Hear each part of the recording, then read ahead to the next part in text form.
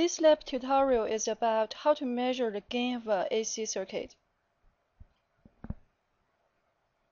Let's look at this first order low pass filter circuit. We're interested in the AC gain of the circuit. Firstly, let's calculate the gain of the circuit theoretically. We can convert the circuit into AC into phasor domain. We know the impedance for the resistor is just the resistance. The impedance for a capacitor is 1 over j omega c. Let's assume that for this AC circuit, the frequency is 1.5 kilohertz sinusoidal signal. So the input signal is a sinusoidal signal at 1.5 kilohertz. The frequency omega should be 2 pi times 1.5 k. Capacitance is 0.02 microfarad. Let's convert it to standard unit. So we got negative J 4.282 kilo. So we just convert all the component in the circuit into phasor domain.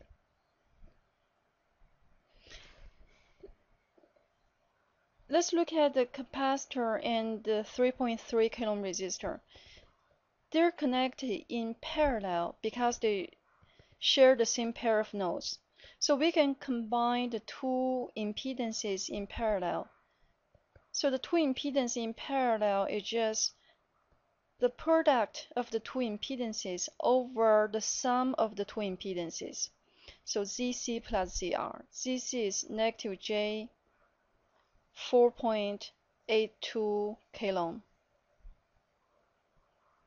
multiplied by 3.3k divided by ZC plus ZR. So here should be plus.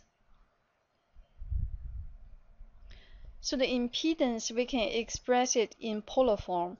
We got the magnitude, which is 2.72 at a phase angle negative 33 34.4 degrees. Here should be negative angle. The unit is kiloohm. The gain of the circuit in phasor domain is output voltage over input voltage. That should be, for the inverting amplifier, should be Z over negative Z over 1 kiloohm. So negative Z is, we have just compute the impedance over the input impedance 1 kilo. ohm.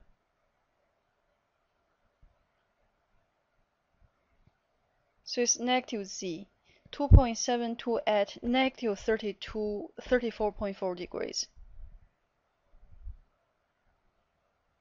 over 1 kilo. ohm. So we got 2.72 at so here should be negative 34.4 degrees. We make I made a mistake here.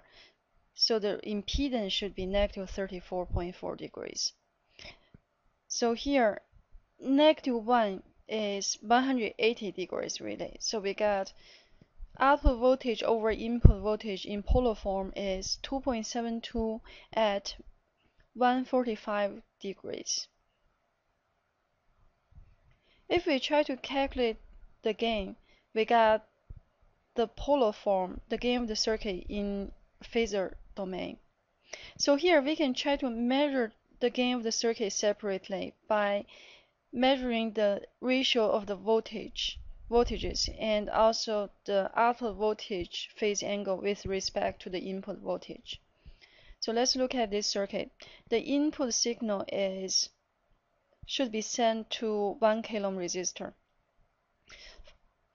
there is only one op amp in the circuit, so we can use the first op, op amp in the TL072 chip. So we use 1, 2, 3 pins. Notice the TL072 has to be powered with a positive 15 and negative 15 power supplies.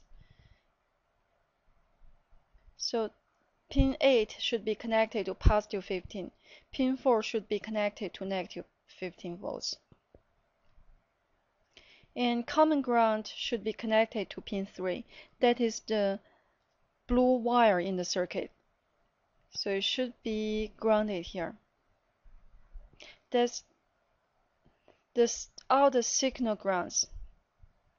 So the input signal is there's one kilo ohm resistor between the input and pin 2.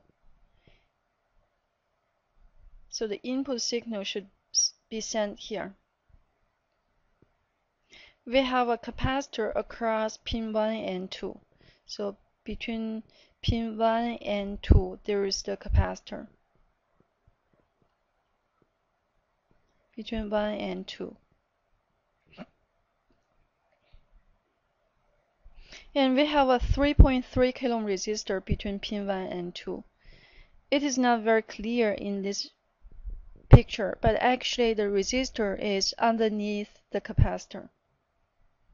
Firstly, we need to power the op-amp chip. So the dot indicate pin 1 starts here. So 1, 2, 3, 4, go back 5, 6, 7, 8. So pin 8 should be connected to positive 15 volts. So we can use the 25 volts power supply in the Agilent power, power supply. So it should be connected here. We can adjust it to positive 15 volts. So pin 4 should be connected to negative 15 volts.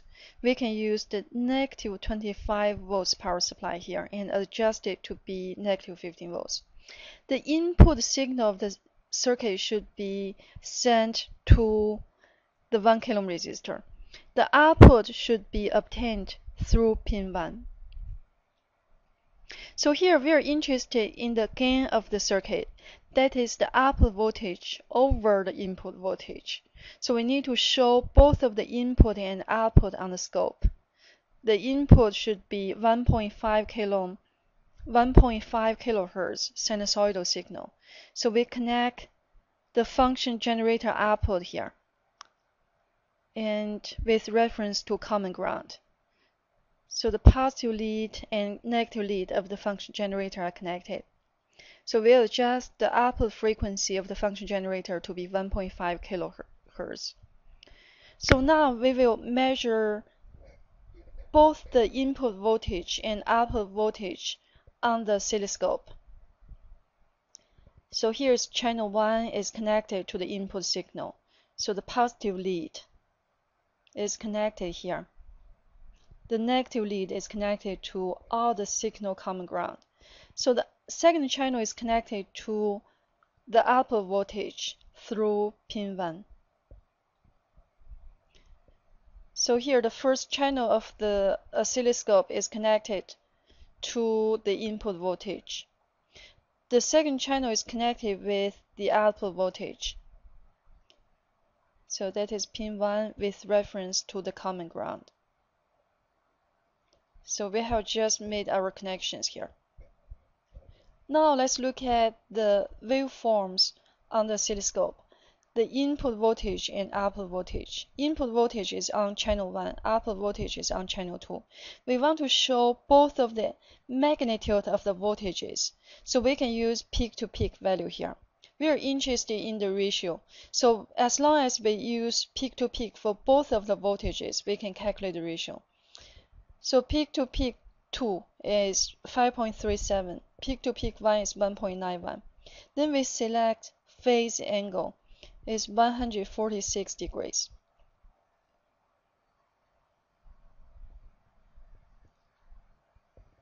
So the input voltage and output voltage peak-to-peak -peak values we just recorded here. Output voltage peak-to-peak -peak value is 5.37. Input is 1.91. The phase angle is 146 degrees. That's the output voltage phase angle with respect to the input voltage. It's an offset. We can calculate the amplitude ratio is 2.81 at 146 degrees. We can compare the measured gain of the circuit to the theoretical value, the nominal values. We need to calculate the error percentage